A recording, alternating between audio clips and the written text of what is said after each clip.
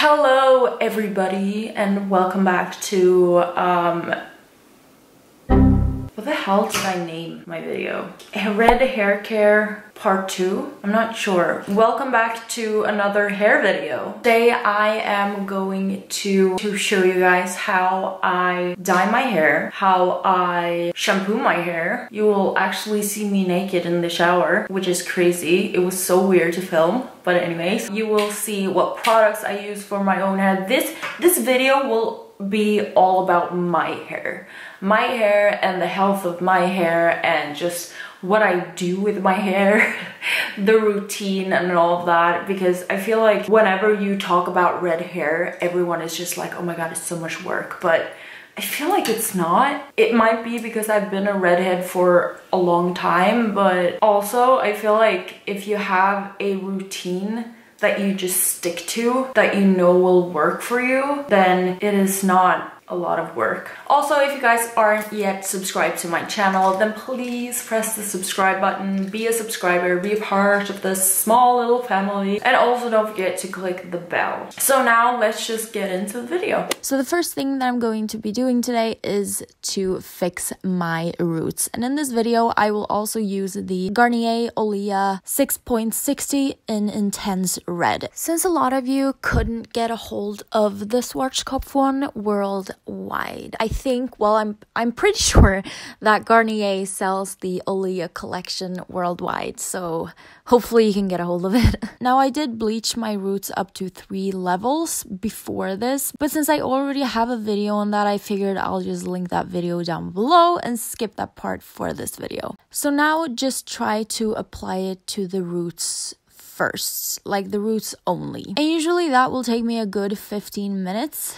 And then I just wait for about 8 minutes and then I drag the hair dye further down in my hair and cover all of my hair with it. I usually also always massage it in to make sure that my entire scalp is covered and also all of the hair strands. And that might also take 5 minutes. So, 15 minutes to apply eight minutes of waiting before applying the rest of the hair dye, massage for five minutes, and then add four more minutes to let it process a bit and then rinse it out. I know it's a lot to remember, but I know it by heart now. Just take notes during the video if you want to try or do anything that I'm showing you today. Not gonna lie, not gonna lie, this was pretty uncomfortable showering with the shower doors opened and a camera facing your butt. But anyways, I'm now rinsing out the hair dye first with only water I then used the same shampoo that I used for my extensions in my last video, the Redken Color Extend Magnetics shampoo. And no, I do not shower in cold water, guys. It's not steaming hot, but it's definitely warm. Also, guys, my coupon code Fluke of Makeup all caps at lookfantastic.com will still give you 20% off their entire website and all of the products that I'm using today, except for the hairspray, is available there. I usually don't go in with conditioner post shampooing just because the hair mask that I'm using is so nourishing itself and it also helps the hair sucking up this semi dye that is mixed into the hair mask a lot better if the hair isn't super conditioned, if that makes sense. So, right now, I am just applying a face mask, as you already can tell. Oh my god. I just feel like this is my routine whenever I wash my hair anyway, so why not show the whole thing? So now I am just removing my towel and taking out the hair tie just to let down the damp hair on my shoulders. I then wrap myself in a towel or just put it over my shoulders at least just because this I mean, this stuff stains like crazy, so please do this. Now, this hair mask that I'm applying today is a mix of different hair masks plus a semi dye, and I mixed it all in part one of my red hair care series. So, if you are interested in the mixture, then check that one out. I will leave a link to that video down below, anyways. I also just have to add that I only wash my hair once a week. I know it's gross, uh, but I get away with it because I bleach my roots every once in a while and bleached hair normally takes longer to get oily, but I also have like trained my hair to be like that. And between washes, I just use dry shampoo. But I mean, like, if I feel like I have a lot of hairspray in my hair, or if it looks like a bird nest caught on fire in my case, I will wash it. Even though it's only been four days since I washed it, I will wash it. But each and every time I wash my hair, I will use this mask, just so you guys know. And I usually also let this hair mask sit overnight if I got time to style it the morning after. But for the sake of this video, I just let it sit for an hour. The next step is also something that I use every third week, I would say, and it is the Color Wow Bionic Tonic Coconut cocktail because they couldn't come up with a longer name. Anyways, this leave-in treatment is activated by heat, so it's like the same thing as the Dream Coat from Color Wow, but this actually mimics and replaces the lost layer of moisture that healthy virgin hair has before you ruin it with hair dye and bleach and so on. So you basically get the feeling of healthy virgin hair without actually having it. You just gotta love science, right? It's also very important to cover every strand of hair with this, so use a comb and brush through thoroughly and multiple of times. And like I said, this is a heat activated product, so you need to blow dry it and I use this huge brush from Tangle Angel and just a basic blow dryer to do this. It takes some time before you get used to it. I actually found it pretty hard doing it by myself in the beginning but you you really do get used to it the more you do it i mean i'm still not a pro as you guys can tell but that is only because i got on this hair blowing routine maybe seven months ago so i mean don't be too hard on yourselves guys the this is actually pretty hard to be honest i then just blow dry my hair upside down to get that volume and the last minute of blow drying i press the cooling button to cool it down just like this upside down so I know it looks weird, but it totally works. So now to my favorite, favorite hair oil of all times, the Kerastase Original Elixir. I use this on both my hair and my hair extensions. This is bomb. I recommend it to everybody. Go and get it. It smells good, makes your hair glossier, and it makes your hair feel very good as well. So, however, I only run it through my length, so don't put this all over your head because then your hair will get greasy. Now, over to my favorite hair tool of the moment, the Steam Pod from L'Oreal. And this is also very much a great piece of science, I would say. It basically won't damage your hair at all. Like, I can even make my hair extensions look brand new when they start to look dull and frizzy with this and it's it's literally magic. Like i don't even have to wash them. It just makes it I, I can't even explain it. You guys have to google it because it's so much science behind it. But anyways uh, it is a bit pricey though. I'm not gonna lie. But it is truly truly an investment. I do however try to stay away from my roots since we already got volume from the blowout that we did earlier. And yeah guys here is the end result salt, and also a little slow mo clip of myself with no makeup.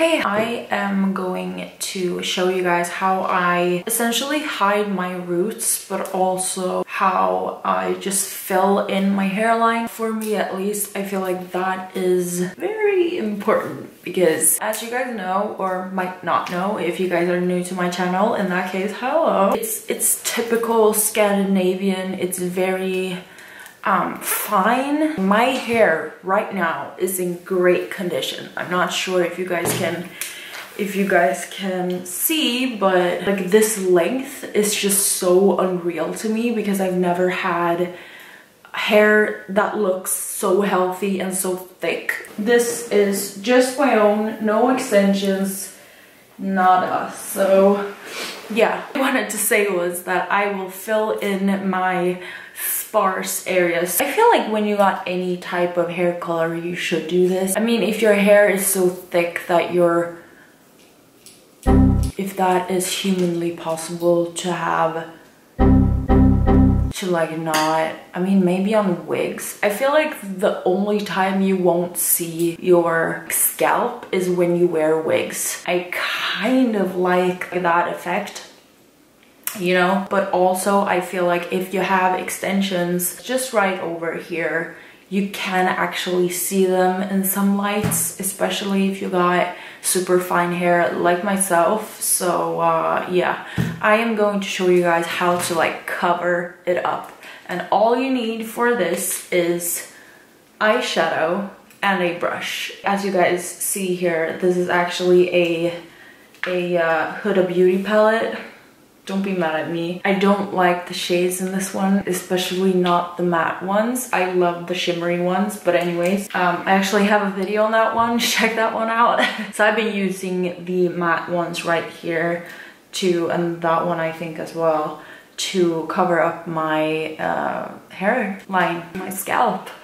Uh, I'm going to put a little bit, this brush, I don't even know where I got this brush. This is just a a brush that I forever use for my hair. So I am just going into saffron. Now, I, as you guys saw, I just dyed my hair. It was one week ago since I did that clip.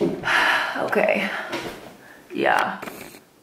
It's already like pretty see if I can do it on this side. Yeah, I can definitely do it on this side. If you guys see here, right here, I really don't want that to, to show. So what I do is I take this brush with product on it and I just place it right there. And you can also do this if you get, you know, roots or like when your roots are starting to show, you can actually paint a little bit of eyeshadow on top of it and it will blend in a lot easier. Having a scalp is normal. I just have to point that out. It is very, very normal. But if you want that really um, full look, do this because it's it's it's a really great trick. Also, when I have my hair, let's see if I can do this. So if I have my hair parted like so, Let's see if I can part that a little bit better. Um, okay. It will not work with me today.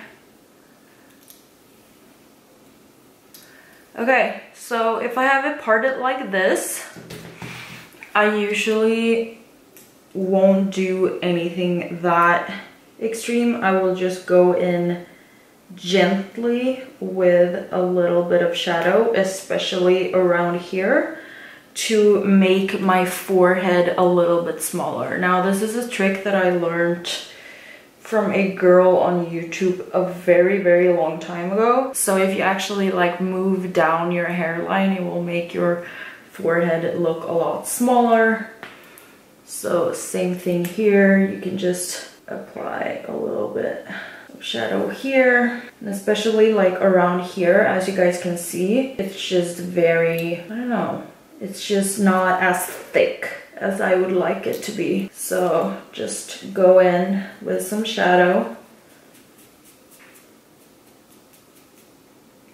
And I would definitely not say that I do this every single time I I do my hair. I just feel like it looks a lot better when you are, you know, taking pictures or, you know, going to events or whatever it might be. So yeah, that is it. Wow. Ooh, so hot in here. I also use this little guy right here. This is actually a, I guess it's a brow brush, but I use this to just like lay down my edges. I just spray a little bit of hairspray on this little brush right here and I just lay them down like that. And also another thing that a lot of people are asking me is if I still use that pink hairspray that I used in my installment video. In my video where I installed my extensions and I have been trying to desperately replace that one because because it's not a international hairspray so you guys can't use it so I've been using this instead for a long, long time now, actually for a year, I think. I don't know when I recorded that video, probably like a year and a half. But um, so yeah, this is the one that I am now using and I love it so, so much.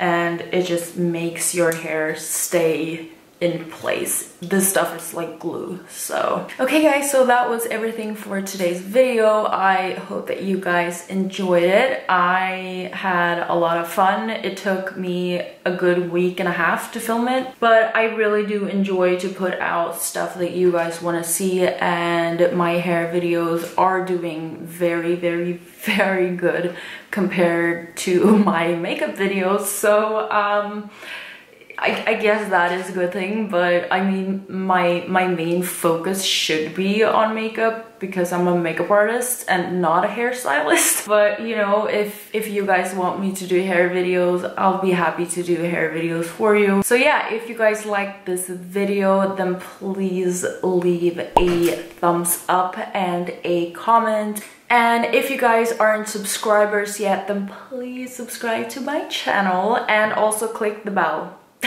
I love you guys so, so much. And until the next time, I hope you guys take care. Bye. Oh my god, look at that arm. That is the palest arm I've seen in years. Look at that arm compared to my face. that is horrible. What the hell?